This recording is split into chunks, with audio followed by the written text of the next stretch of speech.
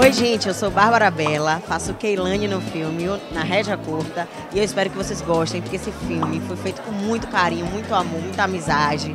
A gente vem planejando essa história há muitos anos e foi feita com nossos amigos da Bahia, para a Bahia, para todo o Brasil. A expectativa é muito grande, porque é um projeto que nós gostamos muito.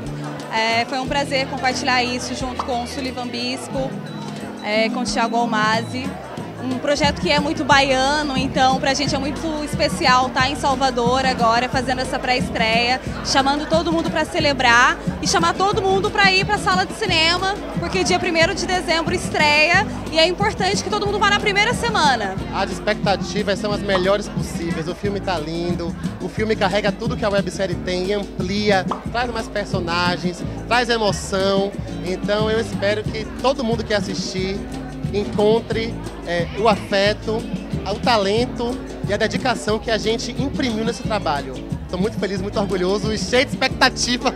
Bora ver esse filme logo!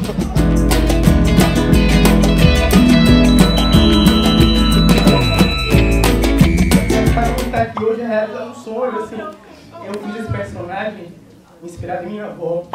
Eu comecei a fazer com a roupa de minha avó.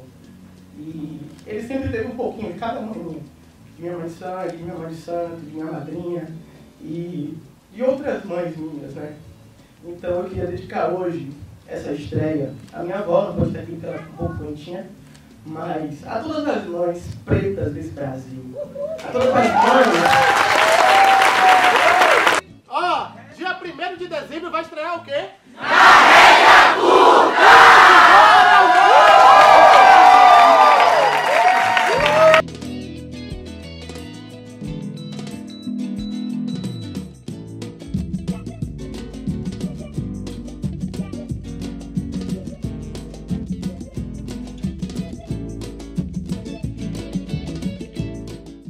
Gente, fiquei muito feliz, né, de ver dois grandes artistas aqui da Bahia na tela do cinema e o quanto amanhã representa todas as mães pretas brasileiras, né? Muito gratificante ver um filme de produção nacional, sobretudo feito na Bahia, com dois personagens incríveis e valoriza muito a cultura local, né? Acho que o que mais me chamou, o que mais me chamou a atenção é isso.